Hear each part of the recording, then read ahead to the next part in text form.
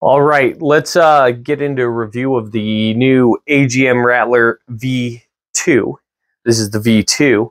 Uh, a couple of quick things that don't really matter much, but this is a Rattler V1 box, and then you can see the uh, little case it comes with.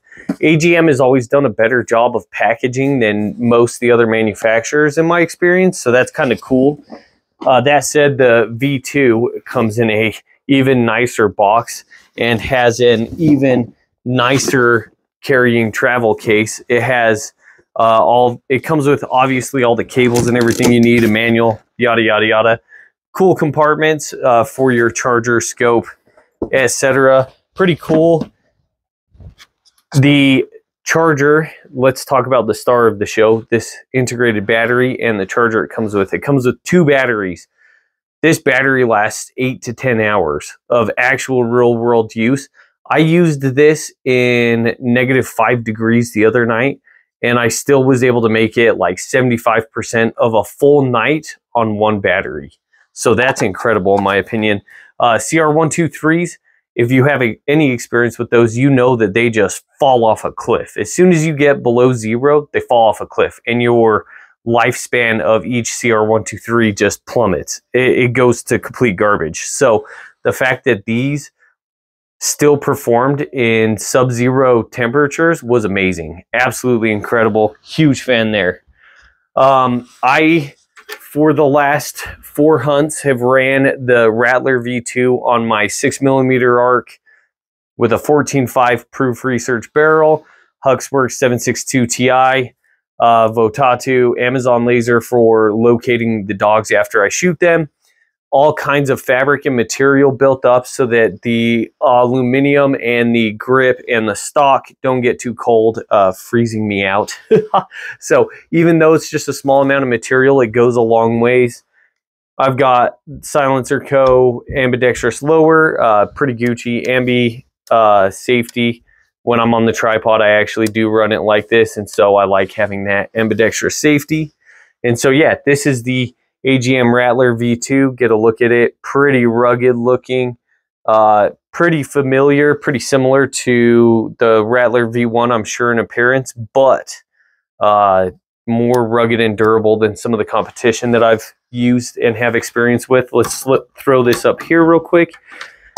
Uh, another feature that I really like about the Rattler V2 is the use of the ADM quick release lever.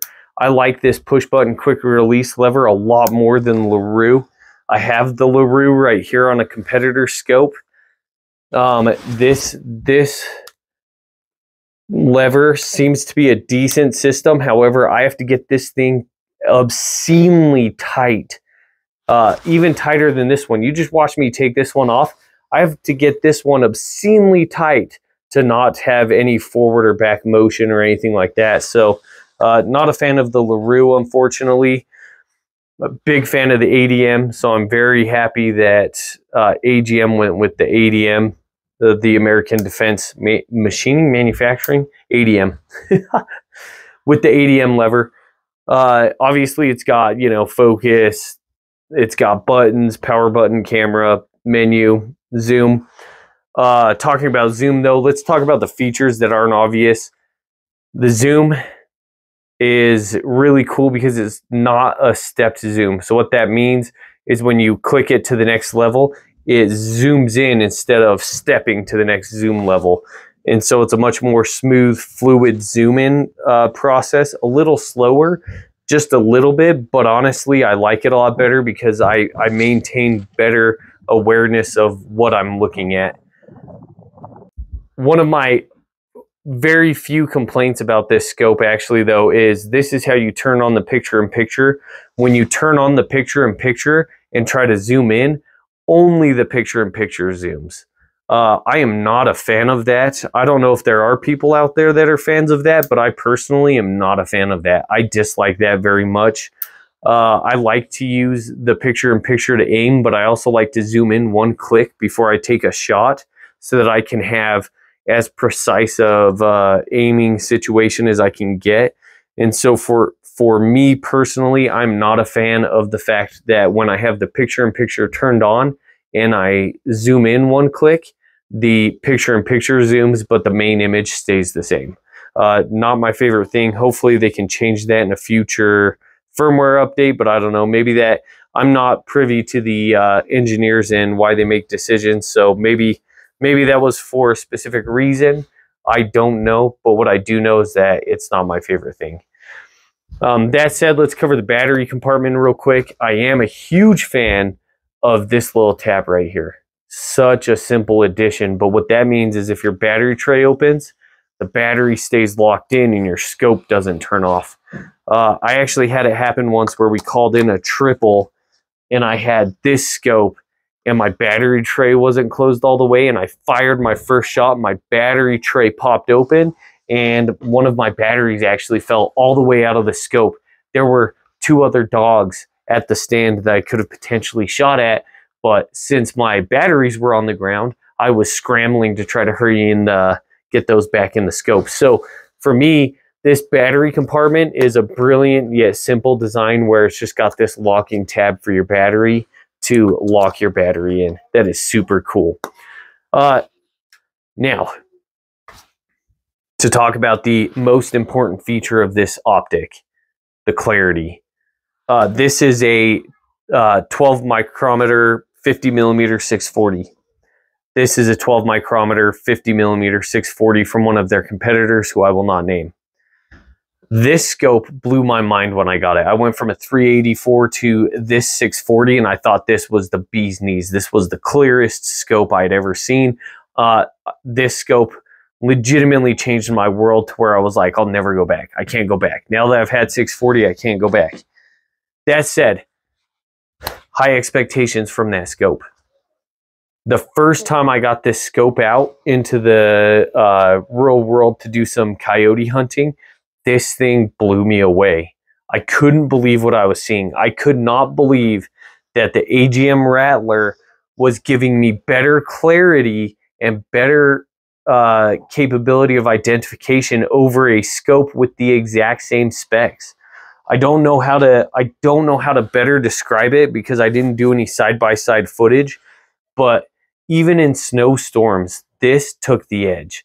I had better visibility, better clarity through snow, rain, uh, wind, uh, humidity, clear conditions, all of the above. This is more clear than other 640s I've experienced. Now, mind you, the new Pulsar, uh, definitely these are in the same league. I would say these are in the same league, which again, I can't believe I'm saying that, but the AGM Rattler V2 is in the same league as the Pulsar and the iRay which to me is absolutely incredible. For what you're paying for one of these, you are absolutely uh, getting more than your money's worth, in my opinion, based on the fact that the clarity of this thing is absolutely incredible. I'll splice in some footage here of some of the uh, of some of the footage that I've gathered so far, some of the dogs that I've shot, uh, even a fox probably. But that said, if you if you get your hands on one of these, you will be pleasantly surprised by the clarity that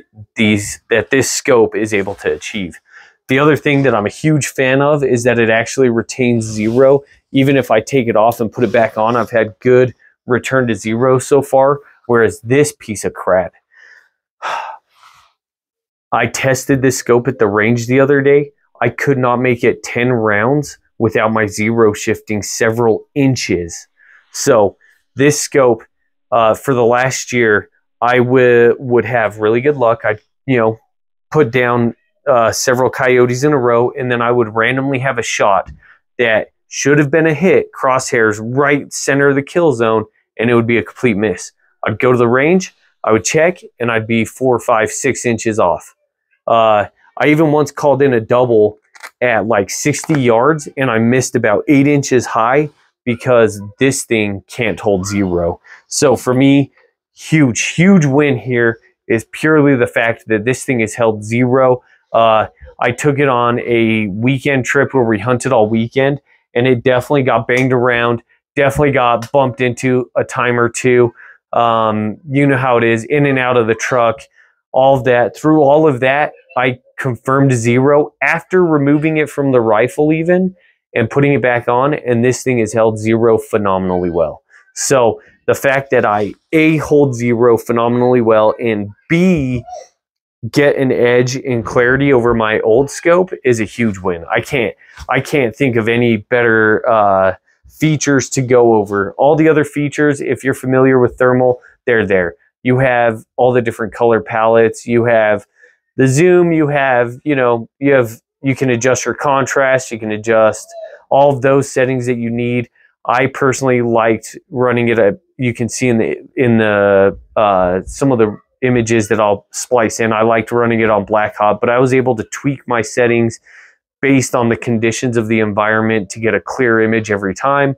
Uh, so I don't need to go over any of that stuff. It has a charging port on the scope, all that stuff. You, you're familiar with all that stuff. But the biggest improvements, the biggest wins, in my opinion, the fact that A, it takes an edge in clarity, and B, it actually holds zero. Like this thing holds zero leaps and bounds better than my other scopes have. So uh, for me personally, I'm a huge fan. Uh, I legitimately wish they would let me keep this scope, but uh, as AGM Pro staff, uh, this one was a loaner. I was contributing to footage for them so they would have some footage. I asked if I could make a review. They said yes, but at the end of the day, I've got to send this one back, which honestly uh, is a little painful to say, but it's okay. I'll use the AGM Rattler V1 for now until the next one comes in, and I'll uh, make a new review then. Okay, guys. If you've watched all of this video so far, buy an AGM Rattler V2. You will not regret it. Uh, the 50 millimeter 640 blows my mind. Like, such a good scope. Just buy it. You won't regret it.